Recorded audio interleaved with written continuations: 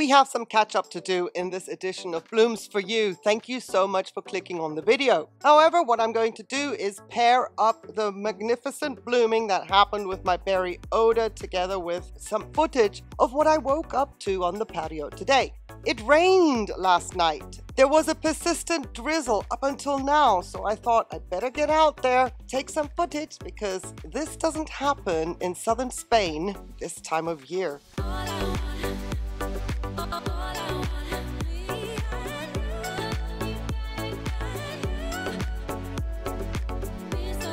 But I don't want to take away what this video is all about, what this series is all about. It is my way of giving back to you to say thank you so much for your support on my channel by identifying everybody that comes new to the channel, be it in the comments or in the subscriber list that I can see, and putting them on a list and then systematically go down the list and allocate buds and blooms to names and then do shout outs and say thank you for your support of my channel this way. I knew very early days I was not going to be able to do giveaways.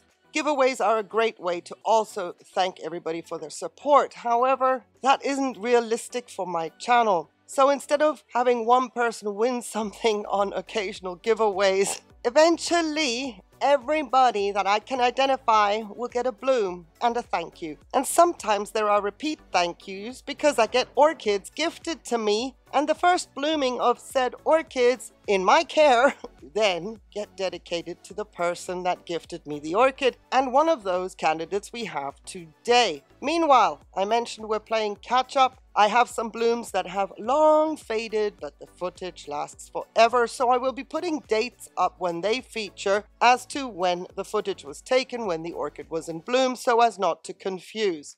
If you don't see any dates, that means the orchid is currently in bloom. There's a group of supporters to the channel that I shout out every single Blooms for You video. These are the Orchid Ninjas, according to YouTube members, but here on Ninja Orchids, they are Orchid Ninjas, and they support the channel with a monthly subscription, get a few perks, one of them is getting their own designated orchid, and when it blooms, that orchid always, always blooms for the Orchid Ninjas. However, Lady Chatterley is currently not in bloom. Maybe she will bloom for us this season, maybe she won't. But I have something super special, in my opinion, for the Orchid Ninjas today. This is my Cattlianthe White Bridal Snow White. Orchid Ninjas, my first blooming of my first ever wishlist orchid. When I started building this collection, she blooms for you. I am sure you know the history of this orchid. I've done several videos on her, her trials and tribulations getting established in my collection. But to see these blooms on the patio in the blooming alley, it is a massive milestone. It's as if the first shall come last.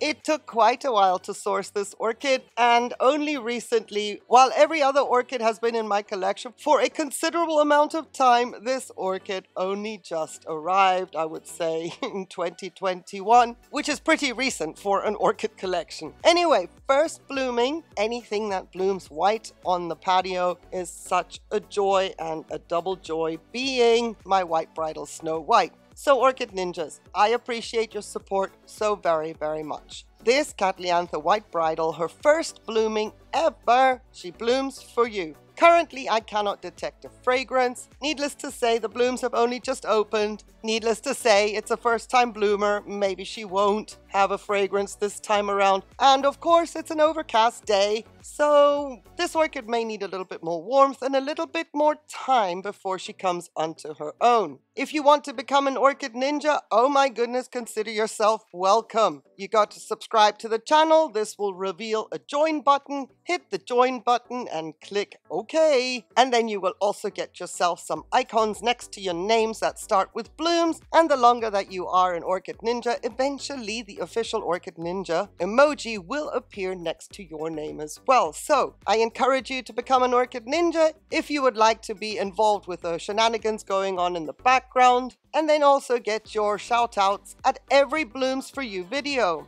Parallel to my little patio tour where everything looks wet and wonderful, I also want to add that anybody that is not mentioned in this video today We have the Berry Oda, her beautiful blooming. I am going to leech off of that blooming once again to say that anybody not mentioned in this video today, the Berry Oda, she bloomed for you. Thank you as well for your support on the channel, for being here, clicking on the video. And now let's go and have a look, see which orchids had bloomed out, which names have come up, and which orchids are still currently in bloom.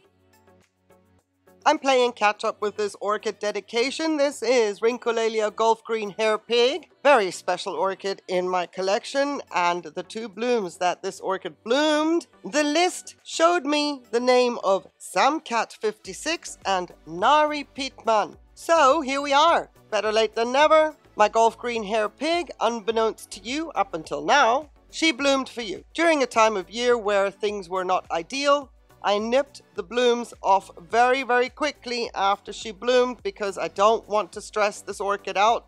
I would prefer the orchid alive so that she can bloom again as opposed to struggling. She is on the east side now, recovering from her winter ordeal. Highlight orchid, what can I say? Doesn't get that during my winter months, so when she bloomed, I was grateful, but I was very, very happy to be able to document get the footage, knowing that one day I can put a dedication together for you, Samcat56 and Nari Pietman, but my orchid needed the rest. The bloom duration could have easily been three weeks, and her fragrance was also a little bit on the weak side. Certain things weren't lining up. The blooms were perfect, but there is no way that I was going to let her get stressed out. And the orchid is doing really well at the moment, and that is one of the most important things, and we managed to get a dedication as well as an orchid that's still alive. I think that works out perfectly. So, my Rhyncholaelia Gulf Green Hair Pig, very dear to my heart,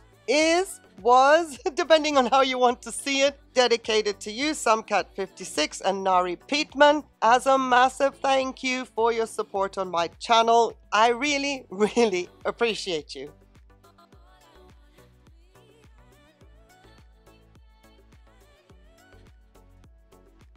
Oh, I love me a floriferous orchid.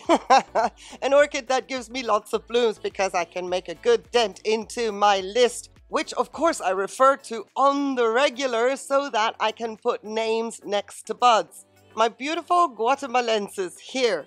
Oh, this orchid. Anyway, first of all, thank you to the following for your support on my channel. Aravind D, Antonio Sebastian, Baiju P. Jose, Tessie Joseph, Kuwait, Lijo P. Jose Sharjah, Alan Gio, Donna Gio, Liziama Thomas, and Anthony Tanca Bascar.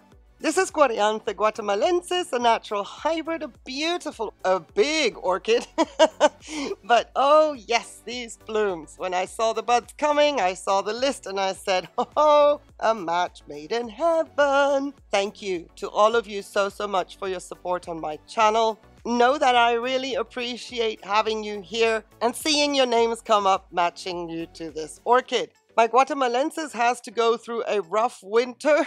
She's a highlight orchid, but while she is on the floor in my winter orchid holding space, she starts to push buds and then it's game on trying to make sure that she doesn't get bud blast depending on the conditions around February, March. She has by now finished her blooming. I am playing catch up. But she is around for a good four weeks in my blooming alley when the temperatures are then acceptable for her to go outside, and what a pleasure she is. She has a gorgeous rose fragrance. What I love about this orchid is the color of the blooms. They are more coral, more tropical. I love the fact that they're not just the pink or the obvious definite purple, you know? There's a little bit of a magical difference about the colors of these blooms and then when the sun hits them the right way, they sparkle, but she doesn't need sun to smell nice. So all these blooms in my blooming alley give me a gorgeous rose fragrance. If you think of a bunch of roses, multifloral roses usually have a beautiful intense fragrance and that is the fragrance of the Guatemalensis. She's a special orchid because, yeah, as space is an issue during the winter, I still have her, and she is one of the orchids in one of the very large pots that still has to come inside. But I don't move her in and out during the winter. No, I don't do that to myself. But yeah, I'm so pleased that she is at least accepting the conditions for what they are, and she does this for us every single year. Wait, I say for us. No, wait, wait, wait. This year in 2023, my Guatemalensis, once again, as a massive thank you for your support on my channel, she blooms for Aravind D, Antonio Sebastian, Baiju P. Jose, Tessie Joseph, Kuwait, Liju P. Jose Sharjah, Alan Gio, Donna Gio, Liziama Thomas, and Anthony Thanka Baskar. I hope that in your part of the world, everything is going according to your liking. And from a distance, the least I can do is give you these blooms and say thank you from the bottom of my heart for your support here.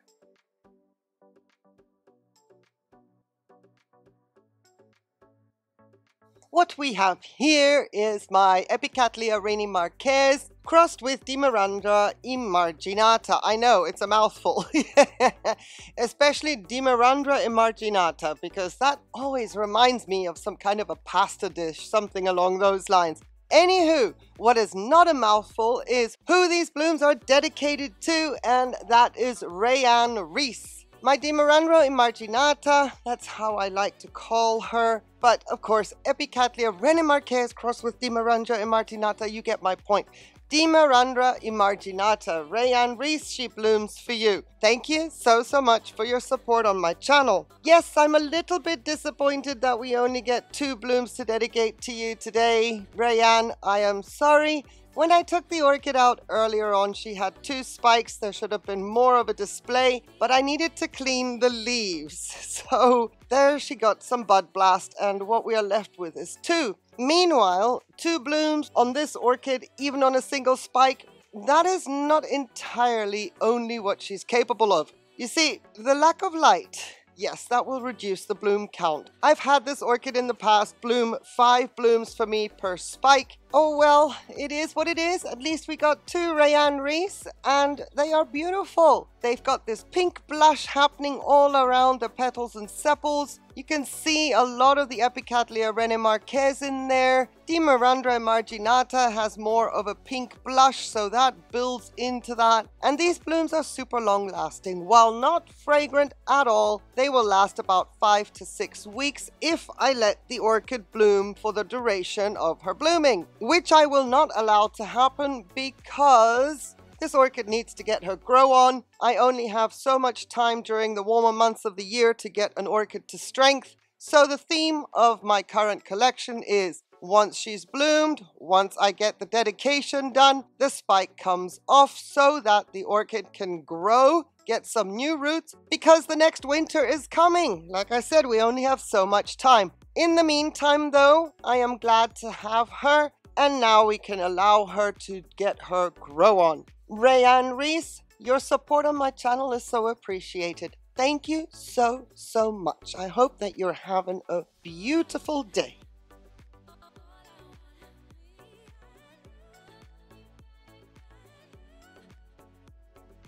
Lady Ha Gaming. It has been a while. I hope you're doing well. Here is my Paphiopedilum no ID, but with a very beautiful bloom that I'm not going to let go to waste. And your name came up, and here I am to say thank you so, so much for your support on my channel. This bloom is dedicated to you because of your support. I so appreciate it. I hope you're doing well. And of course, I hope you like this bloom.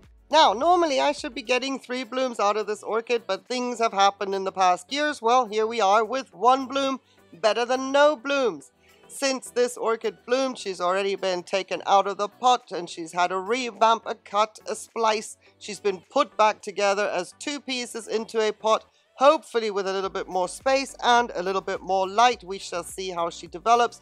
Three blooms would be nice next year, but Lady Ha Gaming, this is an exclusive bloom just for you to say thank you so, so much for your support on my channel. So far the orchid is doing well. I don't see anything that is untoward with the exception of one little detail with the growth that didn't have enough light and was getting a bit leggy. I will feature that in a separate video because this is not about what is going on with the orchid. This is all about the bloom and about saying thank you to you, Lady Gaming, for your support on my channel. It means a lot to me. I hope you're doing well. Haven't seen you around in a while, but if I do see you, I will make sure that you know your name came up and here we are. This slipper orchid bloomed for you. Personally, I am so grateful that this slipper orchid bloomed so thank you very, very much for your support of my channel.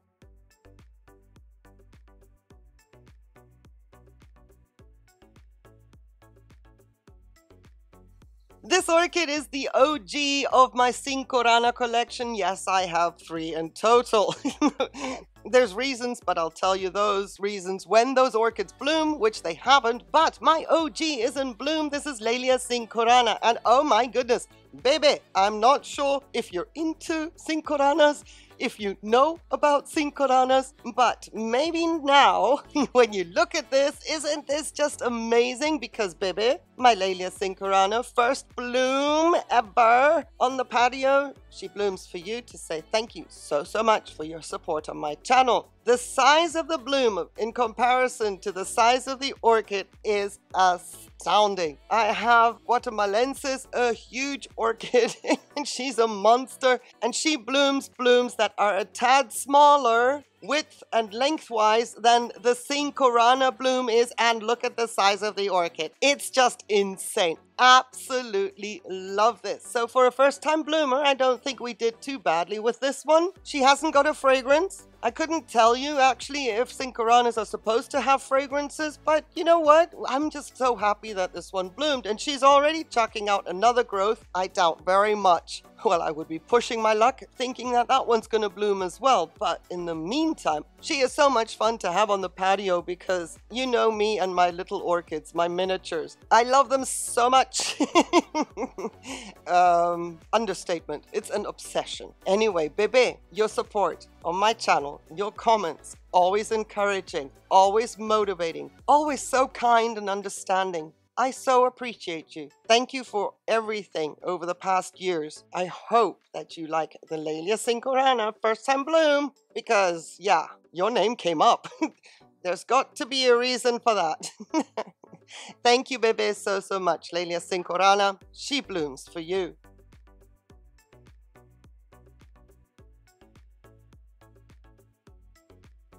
Dendrobium roy tokunaga. Love-hate relationship with this orchid. I don't know if you have some orchids in your collection that are like that. I love me my Dendrobium roy tokunaga. There is no doubt about it. Otherwise, I would have gotten rid of her a couple of years ago. What I find such a shame with this orchid is that the blooms hang down. It is so hard to get in and underneath them without doing some kind of ninja contortion, but I hope that the images speak for themselves. Anyway, I babble. My Roy Tokunaga, the blooming of 2023. These blooms are dedicated to lucky teachers, Clint Parsons, Rasa Lewis, and Sandy Vandergun. Thank you to all of you for your support on my channel. If I didn't love this orchid, I wouldn't dedicate the blooms, so my opening with love-hate was probably a little bit harsh.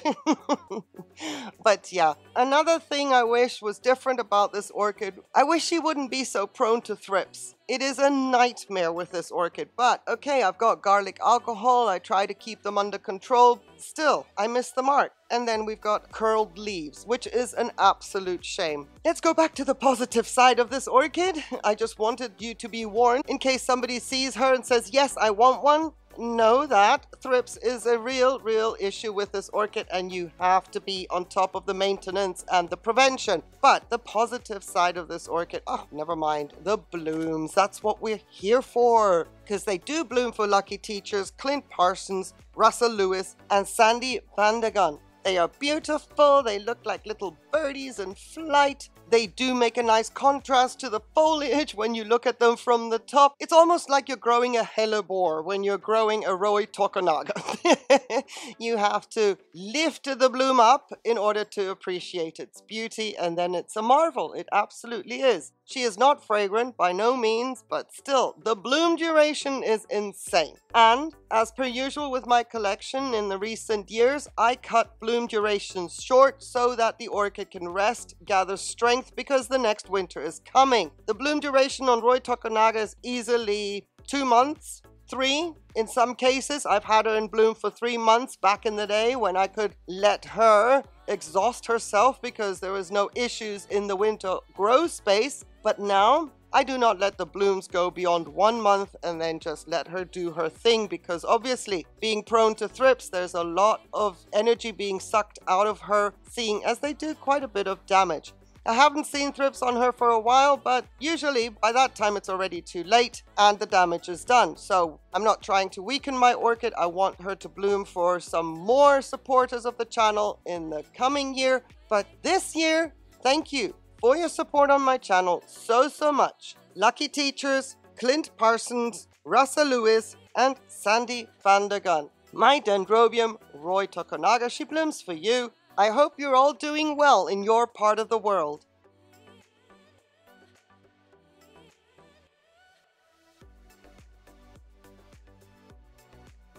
I thought as much.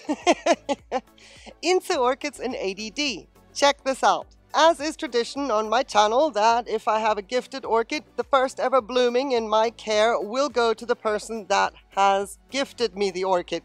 That would be you, Inse Orchids and ADD. My Epidendrum radicans red, she blooms for you to say not only thank you for this beautiful orchid, but also thank you for your support on my channel. And as much as I was hoping to get the rich, deep red color into frame, yeah, no matter where I go on the patio, we get this I hope I have some images that will do the bloom color justice. If this orchid were to ever grow to size, from what I gather they can get quite big, my little one is not exactly big red just yet, but should she grow to size, then I shall change the name from red to big red. My little one here, she has a ways to go, let's just put it that way, considering what I see out on the interwebs. However, I am super happy that she's doing well in my setup of leca and self-watering. Normally, if there's a terrestrial orchid and in certain climates and environments this orchid can be grown in the ground with good, good drainage around her, then leca and self-watering shouldn't be a problem. But it remains to be seen if I can grow her to size in this setup. Meanwhile, if she stays nice, small and compact, that's a bonus for me as winter space is an issue and she cannot stay outside in my cold winters. And well, if she does grow to size, we will have to find a way to make sure that she stays at least a tad warmer while during the winter and we don't lose her. I have not got a single orchid in my collection that blooms red. So this one she has a special place in my heart, once again, for many reasons. But the main reason being she came from you. Thank you once again. And the fact that you're supporting my channel. It's a reminder all the time. Thank you so, so much. I hope you're doing well, Inse, and I hope that your orchids are doing well as well. Know that I appreciate you.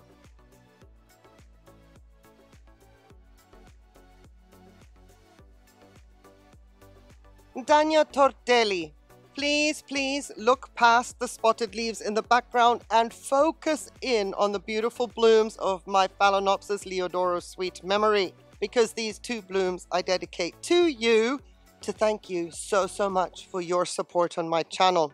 I so appreciate our communications, the comments, the live streams that you can take part in. It's just wonderful.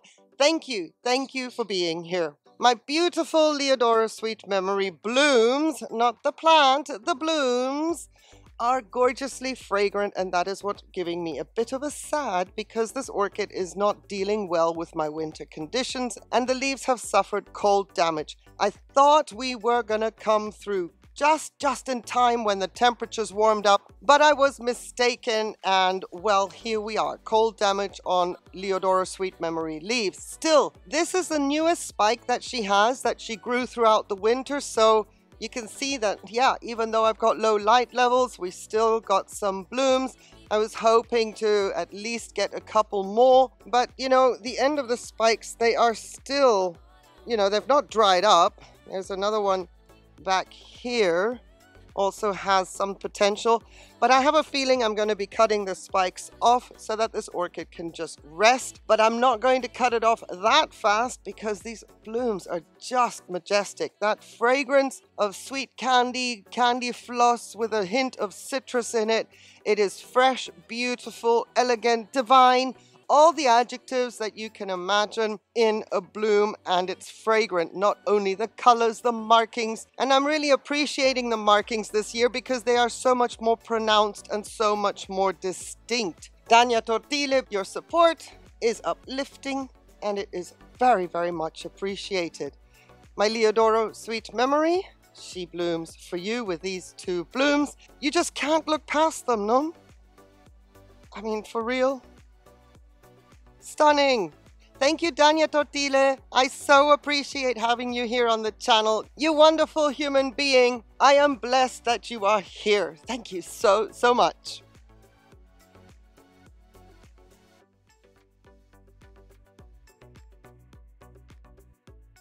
I won't say it's kind of cold outside. It was this morning a little bit nippy, but now I have humidity of 86%. That is insane for the month of June. But it is wonderful, absolutely wonderful for the orchids that struggle with the lack of my humidity. So they are out hoping to get a little bit more rain. No, I'm not concerned about crown rot, but my concern did extend to the Phalaenopsis orchids. They are not outside because, yeah, I don't want the night temperatures to affect them in any way, shape, or form. Seeing as most of my summer bloomers are struggling, I don't want to add to that effect. We have one more day of this rain to go. Maybe if it really, really pours, then I shall be out again with another video because the rain in Spain not falling mainly on the plain Hmm, for us, that is a very special occasion here down on the coast, where it's normally flip-flop weather.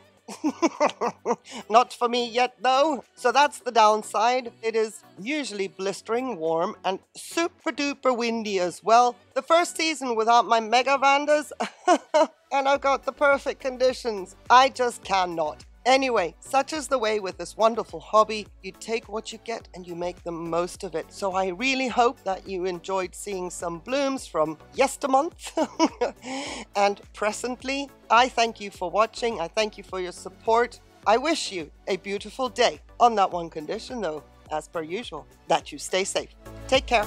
Bye.